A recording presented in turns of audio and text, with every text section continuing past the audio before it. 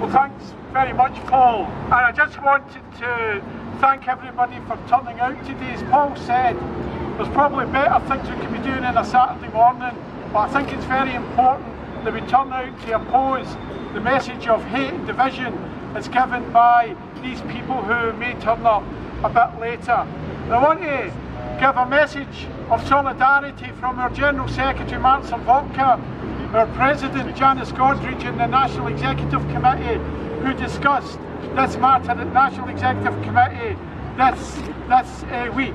Want to thank UAF, Unite Community, Croydon Trades Council and various other groups but uh, you won't mind if my main thanks and DPAC of course um, but you won't mind if I start really be giving a special thanks to the, whole, the PCS Home Office branch here in Croydon who have over the years have played a really fantastic role in opposing these kind of uh, hate marches. And just to let you know, when this march was announced, Mike Jones, the Group Secretary, uh, wrote to the Permanent Secretary and said immediate steps should be taken to prevent this demonstration outside Home Office premises as, uh, or, or work should be moved to a safe location. Because workers, when they are going into work in, a, uh, in the place where they deliver services, should be able to do so without any fear of intimidation, without any fear of harassment, and without being subjected to hate speech or racist nonsense on the basis of either race, religion or belief itself. But it is a provocation that they've announced this march outside the Home Office, but I believe it's a further and tasteless provocation to hold this march just a few weeks after a young asylum seeker, Reker Ahmed, was brutally beaten not far from here, a victim of the type of mindless racism that divides people from each other. And that poor lad's life will be changed by what happened.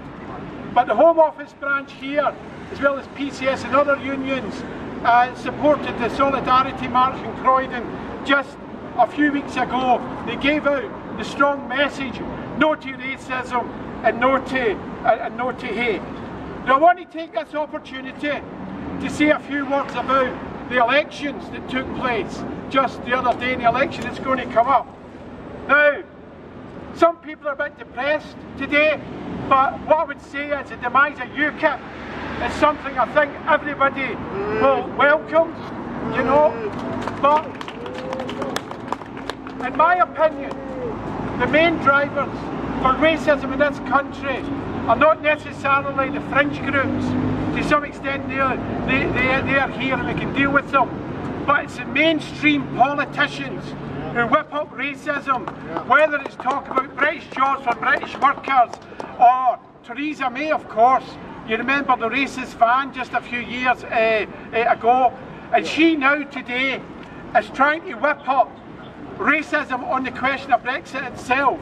Now, of course, Theresa May, like all Tories, is a hypocrite because she voted Remain or she supported Remain. But she's now trying to whip up uh, racism in terms of the general uh, election. And if you can see what's going on five weeks before the election, imagine what it's going to be like in five days beforehand.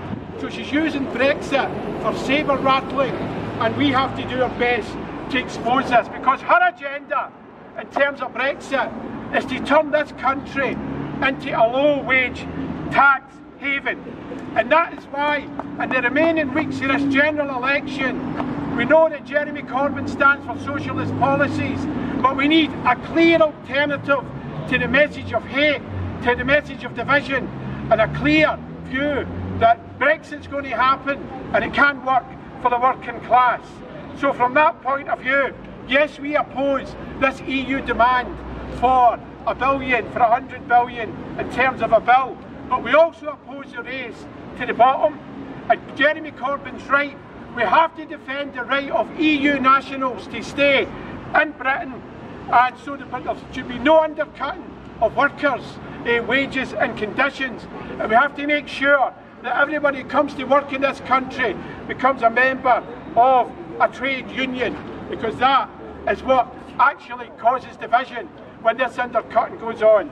Now, in terms of the elections, let me just say this. Uh, I've only scanned the newspapers today, but already get those people in the Guardian, uh, actually, and elsewhere, blaming Corbyn for the results in the local election. Let me make this point.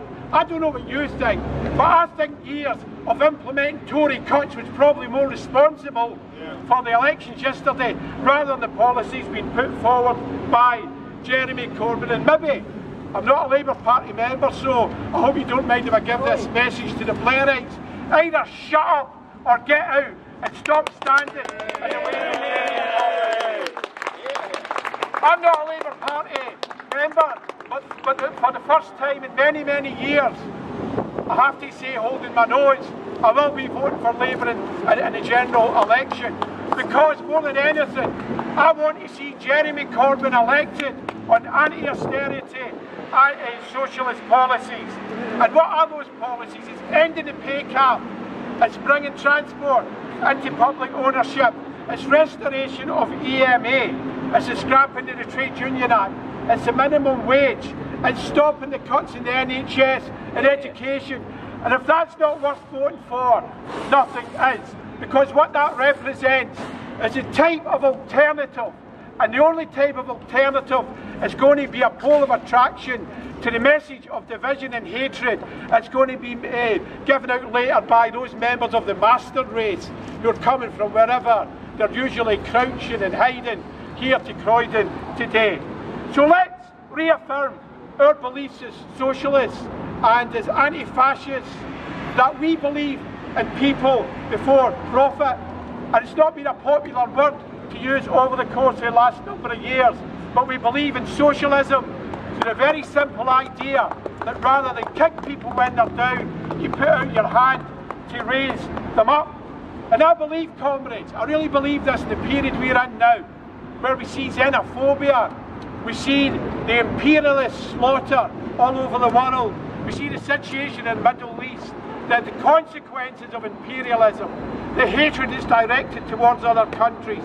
I believe that socialism in this period is no longer simply an aspiration, it's no longer simply a good idea.